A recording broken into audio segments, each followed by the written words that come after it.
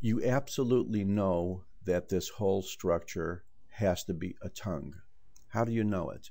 Well, first of all, you can see that on the surface lining, you have a non-keratinized stratified squamous mucosa.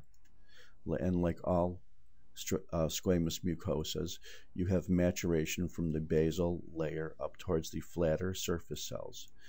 You can see a lot of glands, probably of the serous variety, because they appear to have uh, the serous type of appearance in that they have a cytoplasm that is about as pink or eosinophilic as anything else around it, and the nuclei are not really displaced too much towards the base.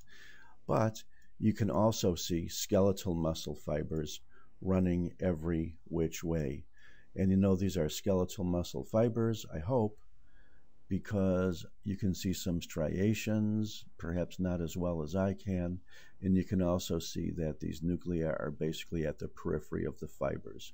Here are some fibers that are cut uh, axially, and you can see that the nuclei are all at the periphery of the fibers. There are none which are in the middle of the fibers. And then you can see some fibers here which are cut longitudinally, and you don't get a much of appreciation for the nuclei as being in the middle but you do see tiny striations, and I know you can't see them as good as I do.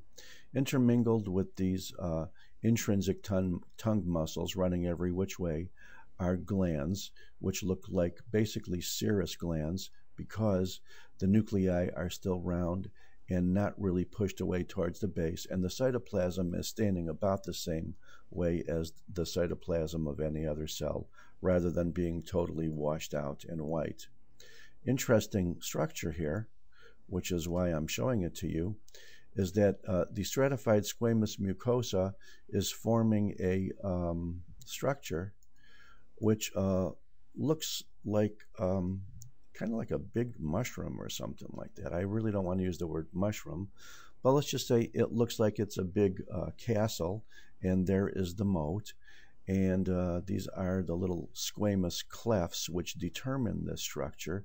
And you could see that inside of the structure, in the connective tissue, you could see once again a lot of these serous glands. But you could see that uh, this structure is designed in such a way that there are other specialized structures mixed in with the uh, surface epithelium, which is part of this little moat and this is a circumvallate papilla, which is very rich in taste buds in the tongue. And they're usually in the uh, back of the anterior part of the tongue. And these little white structures here are the actual taste buds containing the cells, which will eventually uh, transform uh, taste chemicals into nerve impulses. If you are really, really lucky, you might see perhaps that one of these uh, taste buds will actually open quite nicely to the very surface through this little taste uh, pore, which you can see here.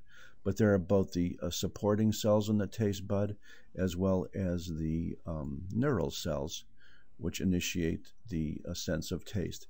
All of these glands, which are in proximity to the uh, pore to the taste buds are called von Ebner's glands. They are serous glands, and they make sure that whatever uh, is interacting in that taste bud is dissolved because you cannot taste or smell anything unless it, unless it is dissolved. And that's the reason for the serous glands secreting chiefly a watery fluid. These structures are the uh, ducts of the von Ebner's serous glands coming up towards the uh, base of the taste bud. So once again, I ask you, what in this entire slide can you not identify? You can see that these are serous glands. You can see the rest of this is skeletal muscle. You can see here's your surface squamous, stratified squamous, non-keratinized mucosa. You can see a circumvallate papilla here. You can see some more von Ebner's glands in it. You can see these individual taste buds.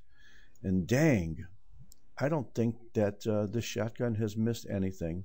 Perhaps we might mention again that here is a duct from a serous Ebner's glands.